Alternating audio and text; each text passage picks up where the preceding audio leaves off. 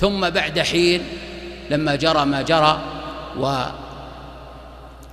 وانصاعت البلدان لابن الزبير رضي الله عنه ما عدا أهل الشام وهو مروان ابن الحكم إذا بطائفة من هؤلاء تعتزل.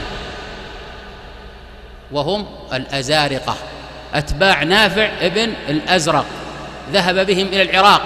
هذا الرجل الذي ذكرت أنه كان يجلس عند ابن عباس ويذكر له المتشابه ويقول إن القرآن يختلف علي. انظر احفظ عقلك ووقتك من الشبه ومن الدخول فيها.